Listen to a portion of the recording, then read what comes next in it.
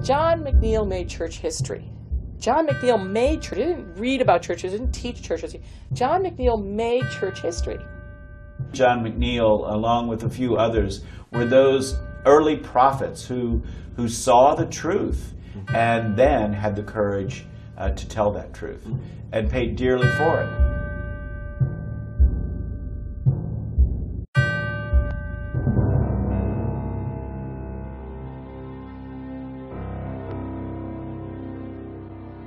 I made the decision to enter the Jesuit order. And so I was ordained in 1959.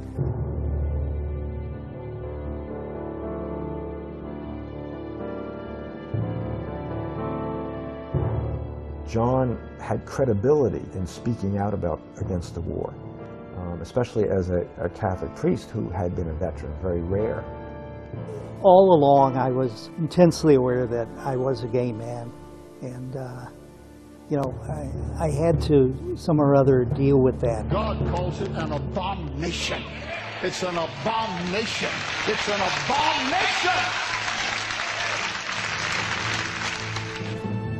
Father John McNeill is a Jesuit teacher, a scholar, and a writer, and for the past two years he has been dealing with the Roman Catholic Church on the subject of homosexuality. I don't know if he even expected this, but it landed like a bomb. He is Father John McNeill. Father McNeill wrote the book, The Church and the Homosexual.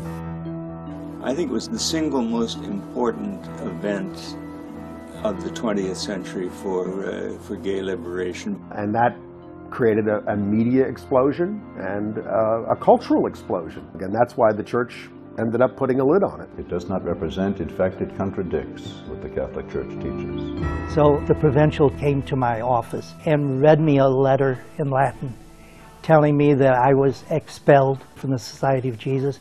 It was a very painful moment.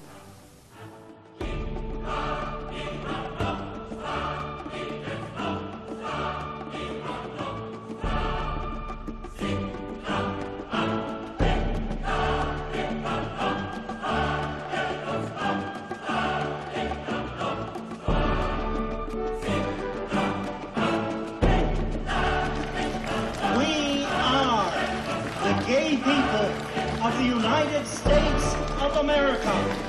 And we stand together courageously